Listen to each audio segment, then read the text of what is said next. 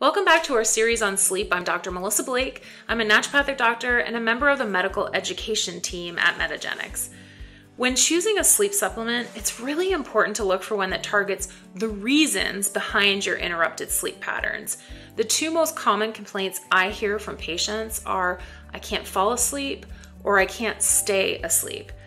For those who cannot fall asleep, practicing sleep hygiene, such as avoiding screens before bed and ensuring your sleeping space is dark and cool, can go a long way in improving how quickly you fall asleep.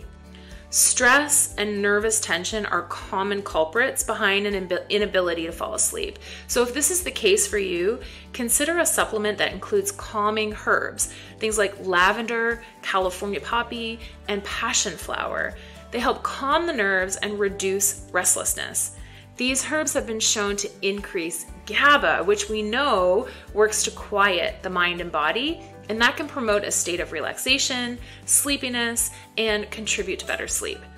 Join me in the next video as we talk more about the options when staying asleep is an issue. Until next time.